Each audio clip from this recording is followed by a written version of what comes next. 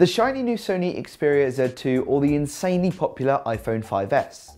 It's big versus small, Android versus iOS, and it's a decision we're here to help you make. Now obviously size is a big factor when picking a smartphone and the iPhone is significantly smaller, lighter and a little thinner too, making it the more pocket friendly option in this pairing. Its design is clean and simple, with a smattering of hardware controls, a single fingerprint scanning home button, and a predominantly metal body that feels nice in the hand. Don't count the Xperia Z2 out though. Its larger body may be a little more cumbersome, but it allows for a bigger screen, bigger battery, and the whole thing is waterproof too. There's a milled aluminium frame around the edge where all the controls live, and the shatter-resistant glass on the front and back. It's a classy looking smartphone, even if it's also a fingerprint magnet. The 4-inch screen on the 5S is cute, sharp and colourful, but doesn't really hold a flame to the full HD power of the Z2's 5.2-inch LCD panel. Expect pictures, movies, and games to look pin sharp, and match the iPhone for solid viewing angles too.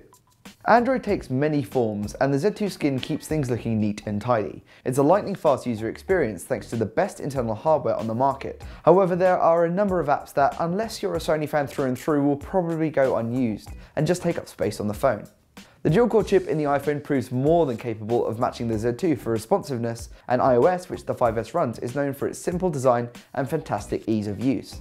There are also a ton of great quality apps to choose from. When it comes to the battle of battery life, the 5S falls just short of a full day, whilst the massive 3200 mAh cell in the Sony will get you through nearly a day and a half on a single charge.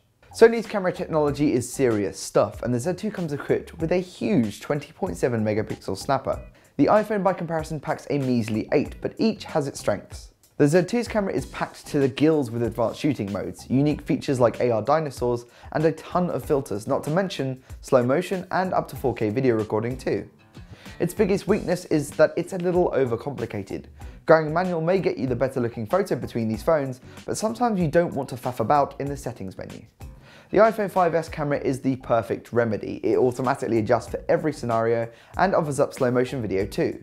What's more, the True Tone dual LED flash ensures even in low light your subjects look natural. The iPhone 5S is the safe bet here with its tried and tested UI, great app support and pocket friendly form factor. It'll suit the broadest range of users. But the Sony Xperia Z2 has a lot to offer for those after something a little more specialist, namely the media junkies, the gamers and the photographers.